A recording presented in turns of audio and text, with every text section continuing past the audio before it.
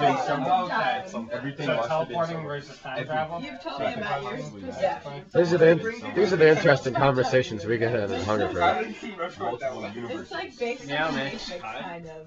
We know Just that whatever. I hadn't seen the mean, Matrix. okay, yeah, but it sounds like I it's think based time on travel would be Matrix. scary. I think it was something about Oh, the scary? Yeah, that would be a uh, super trip out Time there. travel. Time travel would be awesome. You see the dinosaurs, You and then you can go witness- 3,000 Yeah. years later Time and then as just you teleport move because through they it. can. Yeah, that's what I'm saying. Time travel. Like, I would just get really nervous, like I would do something wrong, and like, like if I went back to the '70s, I like did something weird, maybe like my parents wouldn't be, that wouldn't exist, and I would like cease to exist.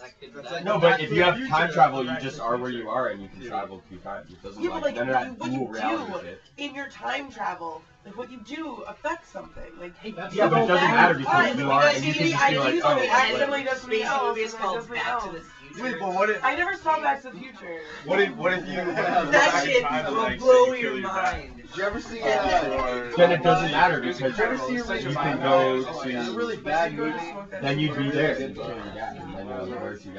you don't know.